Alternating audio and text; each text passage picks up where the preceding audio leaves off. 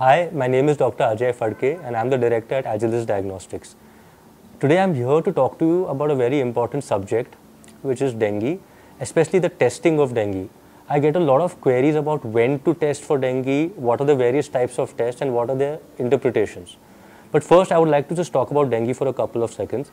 So dengue is a viral illness. It is the most common uh, viral illness which is transmitted by vectors in the entire world. Now dengue is of four types and there are, these are basically called serotypes. It is, it is uh, transmitted by a mosquito which is called the Aedes mosquito, right? And there are different types of Aedes mosquitoes. So the interesting thing is the Aedes mosquito can either be biting in the day or at night depending on the gender of the Aedes mosquito. Now when somebody is suspected of having dengue and the common symptoms are severe headache, retroorbital pain, that means pain behind your eyes, severe bo body pain, joint pain, muscle pain, and also nausea and growth in the lymph nodes. These are the common symptoms of dengue. When somebody is suspected of having dengue, what test do you do and when? The first thing is on day one of the fever, you can do two tests. One is the NS1 antigen and the second is the PCR, the same one which we did for COVID. There is also a PCR available for dengue. It is done through the blood. So in the first 24 hours, these are the only two tests which can detect dengue. After the first 24 hours, say somewhere between 48 to 72 and onwards, then what we can do is that you can either do NS1 or you can do the antibody testing because after the first few days of having dengue, antibodies are formed in your blood and these antibodies initially IgM is formed and later on IgG is formed. So after the first 48 to 72 hours, right up to 10 days, you can get antibodies. One important factor is that which you must know is there is something called as primary and secondary dengue. When somebody has dengue for the first time, let's say they have it with serotype 1.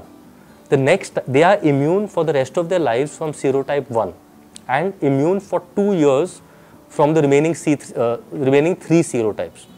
But if they do get any of the remaining three serotypes, this is what we call as secondary dengue because they've already got dengue once and now they're getting dengue again. And in this condition, when you do the IgG and IgM antibodies, the IgG antibody levels are much higher than the anti, uh, IgM antibody levels.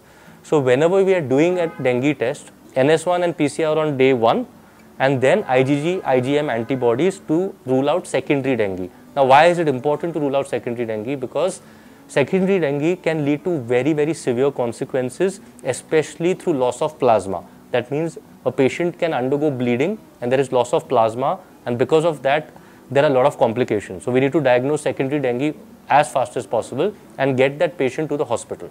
So these are the broad tests which are available for dengue at the moment. Apart from that, apart from actually diagnosing dengue itself, what we need to monitor is a CBC with a platelet count because platelets can drop in dengue, a liver function test because the liver function can be uh, adversely affected by dengue a urine test which is a BUN and creat because creatinine can rise at dengue. At least, at least this is very very important.